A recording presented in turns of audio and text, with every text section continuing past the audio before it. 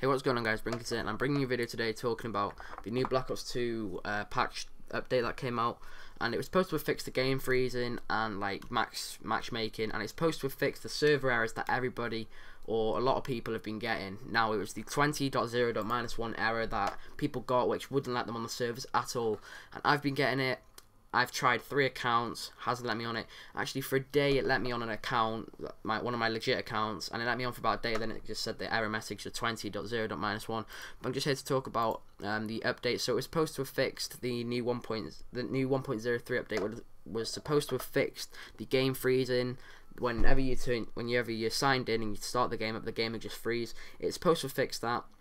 It's fixed it for me. I don't know about you guys and it's changed the 20.0.-1 error message that you get to 22.0.-1 which means that you still can't access the servers and it says here unfortunately the guys on 22.0.-1 will have to wait until the 1.04 or the next hotfix sorry guys now I'm on the I've got the error message now 22.0.-1 in the top right hand corner of the multiplayer screen and it's really starting to drive me mental but uh, on the action update today they've put like a source, two different sources, and the title of the thread is called Server Error Fix coming within the next few hours from now.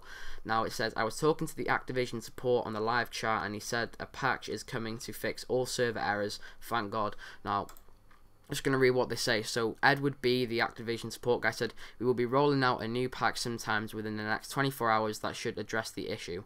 It says, then the guy goes, Sweet, thanks so much. And then he goes, I apologize for your troubles, but we will work to correct this issue right away. I do not have an exact time before the patch update, but it will be out very soon, hours maybe. Do you have any other questions?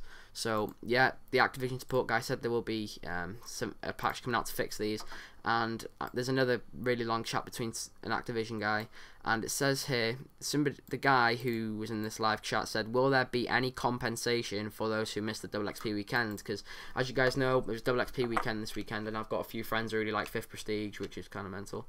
So it says there may be some compensation offered after the issue is corrected, probably in the form of double time. Don't know what that means. You guys tell me. But yeah, um, be, there'll be new updates to fix all this soon. So yeah, that's good news, and I'll see you later, guys, in my next video. Bye.